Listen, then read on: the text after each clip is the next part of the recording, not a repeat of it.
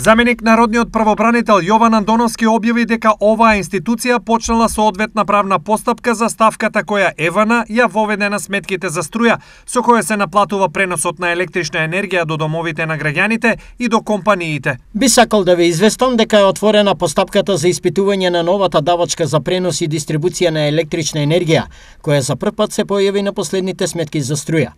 По добивање на одговори од Евана, регулаторна комисија за енергетика и ЕСМ, ќе бидете известени за исходот од постапката објави Јован Андоновски, заменик омбудсманот.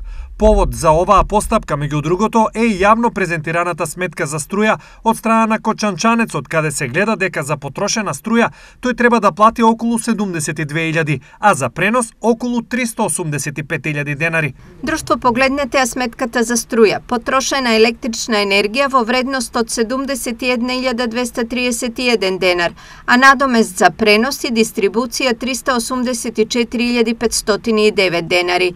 Ваква кражба може да има само во согласност со власта и трпете си, кјутете си, па и на ваша глава ќе дојде таква сметка. После ќе се чудите кој ќе ви помогне. Иако причините за ваквата пресметка пред неколку дена ги објасни председателот на регулаторна Марко Бислимовски, јавноста, а поготово бизнисот со оваа одлука и начин на пресметка за потрошената струја не се согласуваат, а реакциите се постојани.